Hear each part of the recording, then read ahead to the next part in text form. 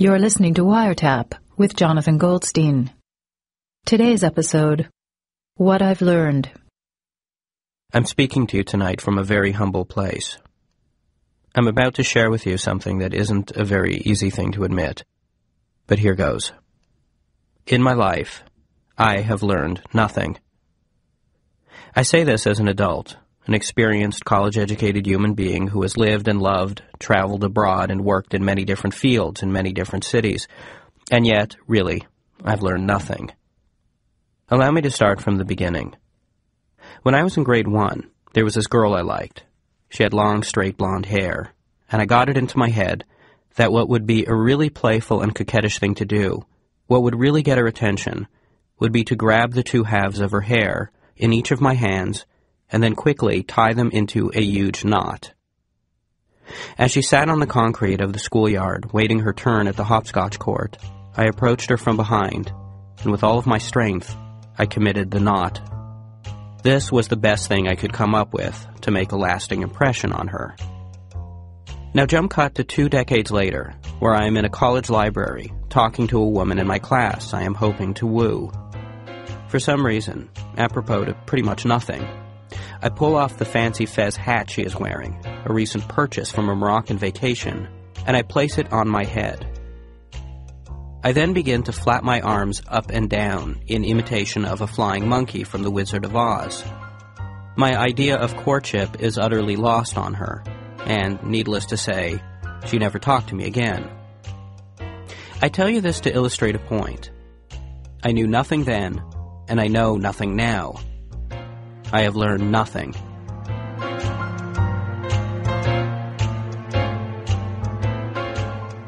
I read books and forget them almost completely weeks after having read them.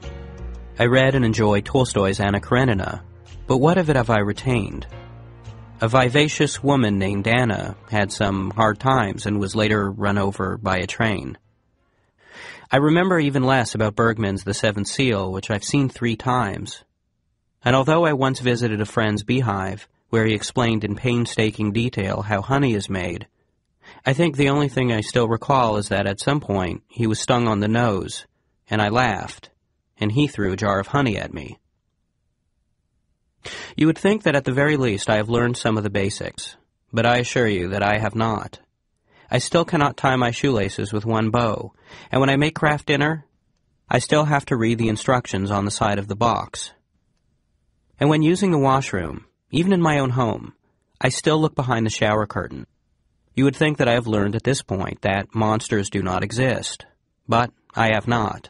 In fact, I consider my ambivalence on the subject of monsters a positive thing, a sign that I still retain an undying sense of life's endless possibility. If I have learned close to nothing about the world around me, I have learned even less about myself.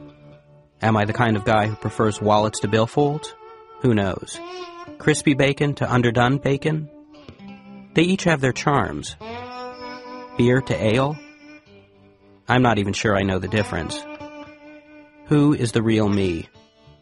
Am I the kind of guy who enjoys Sunday afternoons doing yard work while listening to CBC Radio 2?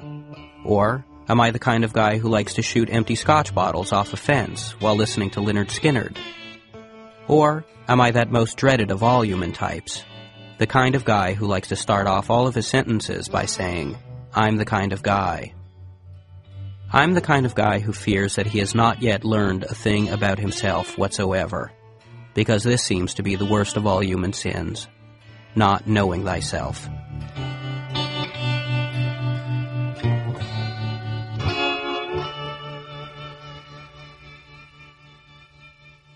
A couple of months ago, I was traveling by train to the U.S., and a park ranger gave a speech to a group of passengers in the dining car about a battle that was waged along the route we were traveling.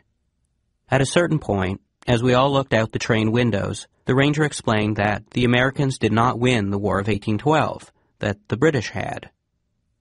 A woman then said that she was taught by her grade 10 history teacher that, in fact, the Americans did win. Ma'am, the park ranger explained with a laugh, Anyone who knows anything about these matters knows that Britain won that one. That teacher you had was just plain ignorant. I admired the ranger's certitude, and the woman's certitude, and even the woman's teacher's certitude. I admire certitude, mostly because I feel compelled to punctuate every statement I make with the words, but what do I know? I predict that when I am old, after all my decades of experience, I will still not have learned a thing. On my deathbed, in my final days, I will not be one of those people described in eulogies as courageous or inspiring. I fear that instead, I might be referred to as foolhardy or dense. As my children and grandchildren circle my bed, expecting some profound dying statement, some culmination of all my worldly learning, I will look at them with eyes as empty of wisdom as the day I was born. But what do I know?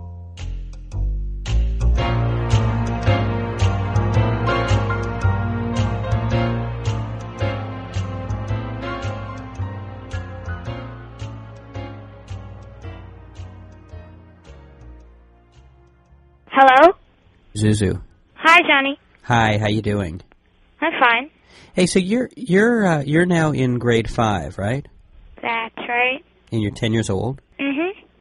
Looking back on these ten years of uh, of of experiences that you've had, what would you say is one of the biggest things you've learned in your life? Well, never trust first impressions. Really? I, I think so because if you meet someone and you think they're nice, they could just be using you. Really? Did that ever happen to you? Yeah? What what happened? Well, do you remember Carol? Your your friend Carol? Yeah. If you want to call her my friend, she was always being nice to me. Mm-hmm. When she figured out that I was going to Ronde for my birthday party. To to the to the big amusement park. Exactly. She started being nice. She was all nice, nice, nice, very polite to everyone in my family. And then so after my birthday party, she says, I'm not being nice to you until next year when you go to Iran again. Wow. First impressions never count. Do you have another lesson that you've learned in life? Uh, yeah. Never to scratch your butt on stage. Never scratch your butt on stage. All right, that's valid. How how did you learn that? Uh, well, we were in rehearsal, Rehearsal for. ballet show. Okay. And they said never to scratch your butt on stage. Wait, so your teacher, this is one of the things your teacher taught you, and this is the same teacher who taught you, like, To do pliés and dégagés, yeah. and do you think that's an important life lesson to learn? well, one. All right, well, do you, do you have anything else? No, That's it? just those two. Uh, let me just recap. Um, don't trust first impressions, and never scratch your butt on stage. hmm I mean, do, do you think armed with those two principles, do you, th- you I mean, do you think that's enough to, to kind of get by? Well, well, to start.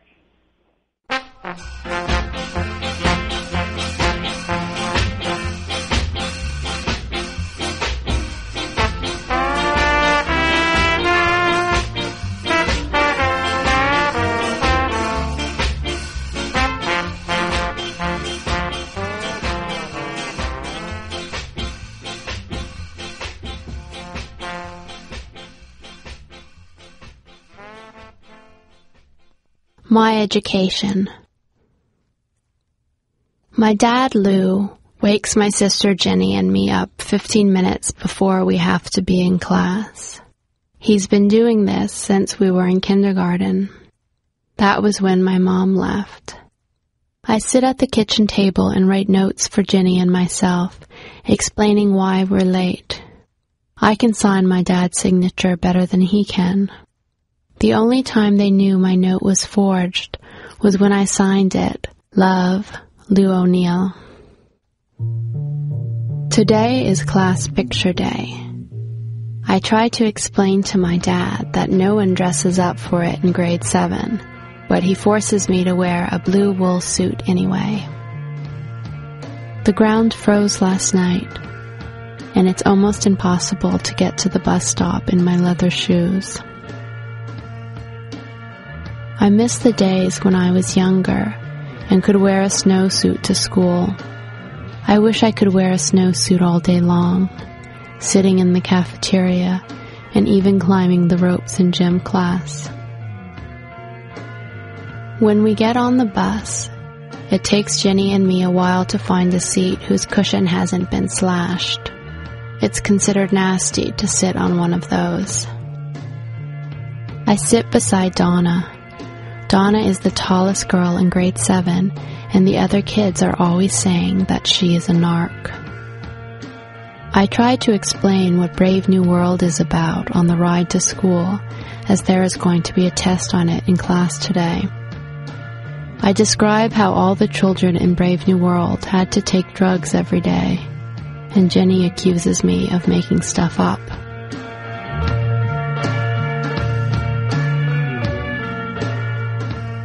Everyone tells me that my wool shirt and my wool skirt don't match. A girl in my class gets everyone to sign her petition saying that I need a haircut. Last year, I was chosen to read a poem at the assembly in the school's auditorium.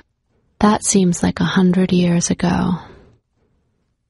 I wasted the whole of grade six drawing stars in my notebook. I wonder if I might have learned anything. Now in grade seven, I draw horses. Even in grade school, my dad never let me trace anything. He says once you get hooked on tracing, you're finished. I turn out to be the only kid in class who has read Brave New World. The other kids give me dirty looks for my act of betrayal. In English class, Danny and I hand in identical reports about what our family means to us. Now we both have zeros. I don't understand parentheses. I add them randomly in my short story. I do the same with semicolons. I start new paragraphs whenever I get bored, and in my stories when my hand starts to hurt. My pencil is almost sharpened down to the eraser, but the teacher always gives me such a hard time when I ask for a new one. My dad says that if our teacher tells everyone to put their heads down, not to do it. He says that once a person has that kind of control over you, there's no going back.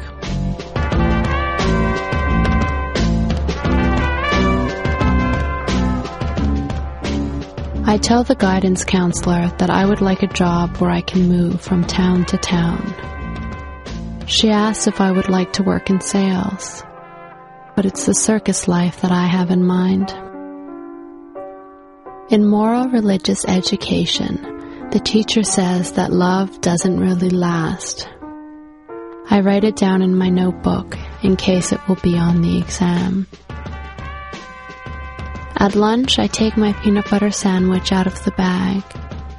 It's as flat as a piece of paper. After lunch, I take my wool shirt off in class because it is so hot and itchy, and when I do, my t-shirt comes off with it. I'm wearing an undershirt with yellow, pink, and green flowers on it. All the boys whistle and cheer. In music class, they give me a trumpet to learn how to play. It's hot and stinks. I pour liquid soap all over it in the bathroom, and now it blows bubbles.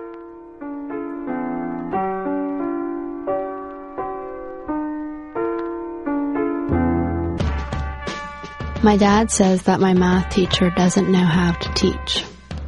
I don't know where he gets this since I haven't told him anything about the man. It's just something that my dad likes to say about teachers. I've been asking him for ballet lessons since I was seven years old, but he says they are for phonies. He also says that the kids at the community center are on drugs. Daniel got expelled from school today. He refused to leave the premises.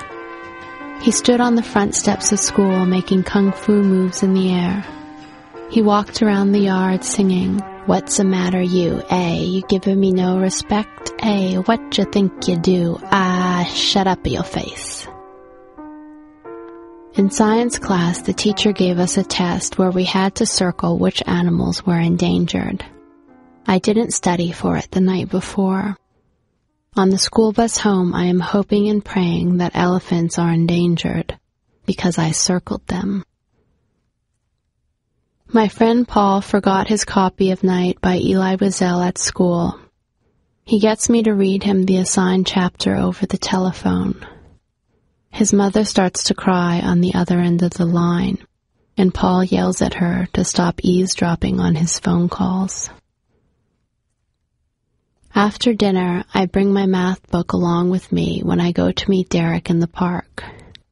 My dad says that as long as I do my math homework, I won't ever end up a bum.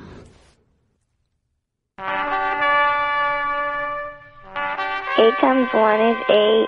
Eight times two is sixteen. Eight times three is twenty-four.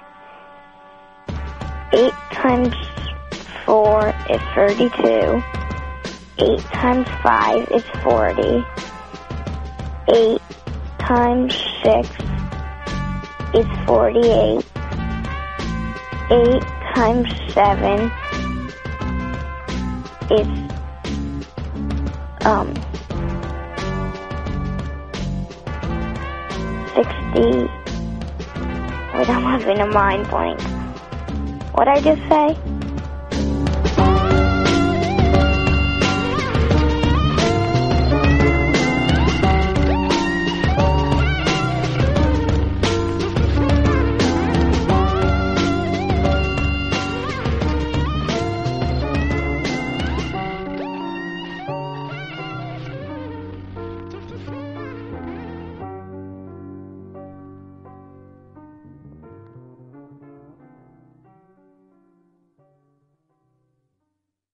Hello? Hello, John. Hey, Howard, how you doing? Oh, Things are very good, my friend. Things are very good. Really, you sound very upbeat. I just feel really good, my friend. Very, very connected. Things are very good these Well, days. that's great. I mean, I'm you you you, you sound uh, you sound unusually uh, calm and at peace. I feel very at peace. It's a very good choice of words. What what, what was that? I ring a gong to remind me of where I am at the moment. Where are you exactly? Here, Okay. with you, my friend. We are Uh, here together. Right. And did you and you forgot that? I, I don't forget it. It's always present, but it, it makes me savor it like like a like the last strawberry in a bowl of strawberries, or raspberries, or any kind of delicious fruit. So wait a second. So this gong is this connected to this new uh, this new uh, feeling of uh, peacefulness? Very much, my friend. Very much. Really? I guess you know my whole life I've I've been seeking in a way. I think I was always looking for some spiritual instruction, hmm and I found it. You found it in the gong.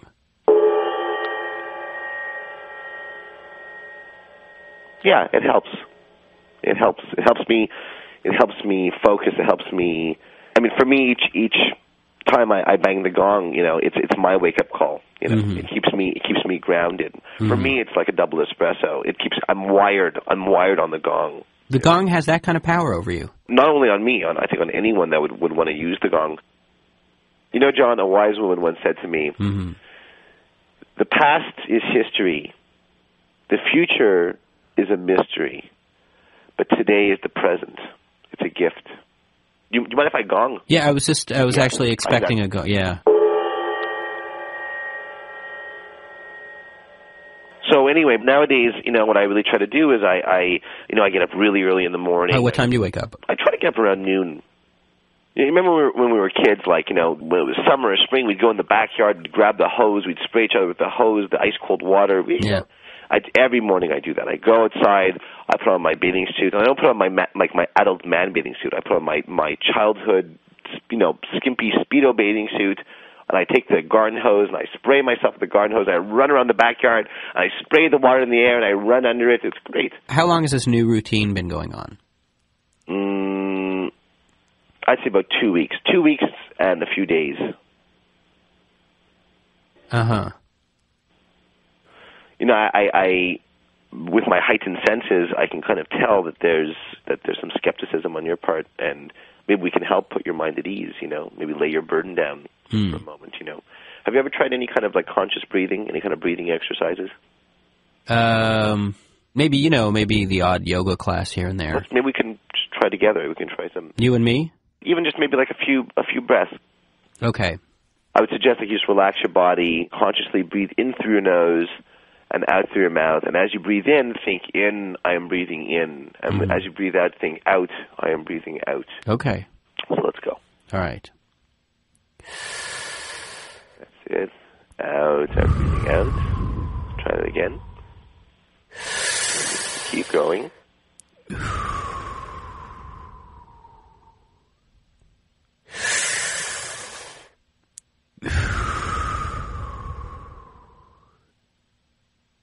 Okay, Howard. I, I think I think I'm a little, I, I think I'm done with that. I, I feel I, I think I think I feel uh, I, I'm feeling the effects of that. Howard. Howard. Hello? Are you breathing? Yes, I'm, I was breathing. It's good. Where, I thought we were breathing together. Where were you? We were. We were. We're, I'm, I'm still breathing. I just want to get a little snack. Don't stop breathing. In, I'm breathing in. Out, I'm breathing out. Uh huh. Did you did you miss lunch today? Mm, No, no. No, I feed myself many, many, many meals over the day. You learn about these things. I'm so in tune with my body. So was the breathing good? I guess so. It's hard. It's, you know, th- for me, this is one of the greatest obstacles. It's What's like- that?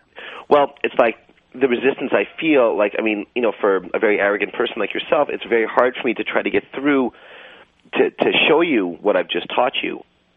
Just now, just now, Uh-huh. this one moment, for the first time in your life, you you you've been awakened, and and I get great great joy in that. And probably as time goes on, you know, your reverence of me will will grow, and and I'll feel that no matter no matter how many miles separate us, I'll I'll know. I can feel for all my students, I can tell when they're thinking of me, when they're adoring me. W- what are you talking about? Your students? You know, what I try to do is I I I take to the streets. I try to I try to impart my wisdom to the to the youth of the street. So what are you doing exactly? Let's do a little role playing right now. Like maybe like I'll be me and you're one of like you're you're youth at risk. Okay. Okay. So here, like I'm squatting. Imagine I'm squatting next to you. I got my bathrobe. All right. I have my orange juice. Yeah. My hair is wet with cold hose water. Now let's start. Okay. Okay. I'm looking at you. I'm staring at you. Yeah. Arrogance, vanity. Excuse me? I'm talking to you. Okay. I'm not talking to you. I'm talking to you. I don't know what to say. What does a kid respond to that? Um, yes, I know those words. Sound familiar? What do you know about me, old man? What I know is what you don't know.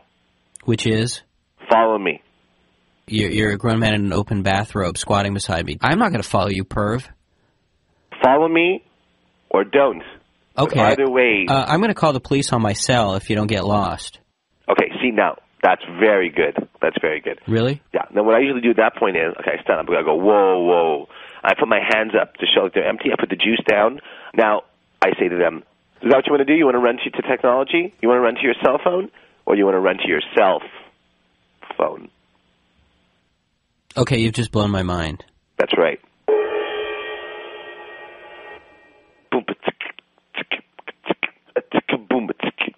Learn, don't burn. Boom, don't make me irate. Educate, second rate. That's your fate, unless you capitulate. Howard, you know, all, all I'm hearing is is you know you you're on you're onto a new kind of scheme. You know, now it's spiritual stuff. Well, how am I supposed to how am I supposed to believe that this is actually different? I remember mean, when you, you were doing the, the pyramid schemes? You know, you were all excited about that. Then you remember you went to, uh, you decided you were going to go to clown school, Howard. You remember, and then refrigerator repairman school, and, and, and you remember then you, you and then you started taking martial arts. Howard, are you listening? Whoop, whoop. Damn. Jeez. Howard? my gong. Oh. How, do you want to do some breathing? Does it work? I was so enlightened at the beginning of this conversation. I was literally surfing the cosmic waves, and now I'm hitting a, a, a piece of dead metal.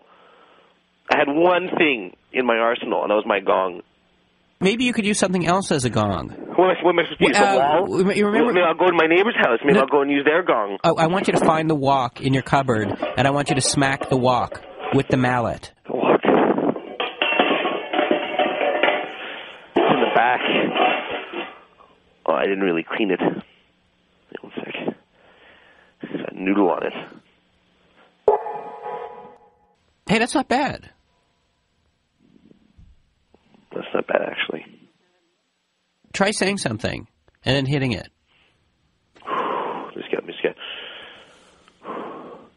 I will go out and eat hot dogs. That kind of worked. That didn't sound bad. Yeah, that's okay. I don't know what you're doing, but you want to maybe go gong shopping with me tomorrow? Sure. That'd be good. They also they also have those like shrimp chips because it's like an Asian store. You ever have those shrimp chips? No. They're good. Okay, well, we'll give them a try. Yeah.